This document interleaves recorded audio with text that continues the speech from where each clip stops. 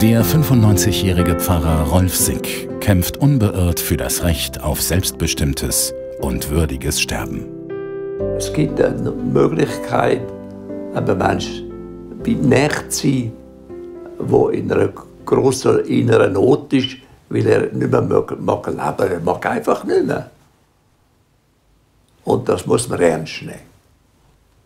Und nicht, nicht ihm noch Angst machen, ja, mache da etwas Sündiges.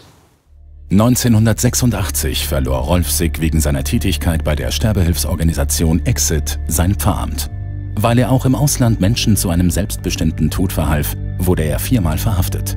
Nichtsdestotrotz hat er sich aber nie von seiner Überzeugung abbringen lassen. Das war für mich irgendwie eine, eine Krönung von meiner Tätigkeit. Weil nur reden von der nächsten Liebe, das ist etwas ganz Gutes, aber das ist zu wenig. Aber etwas machen für den anderen, das ist dann mehr.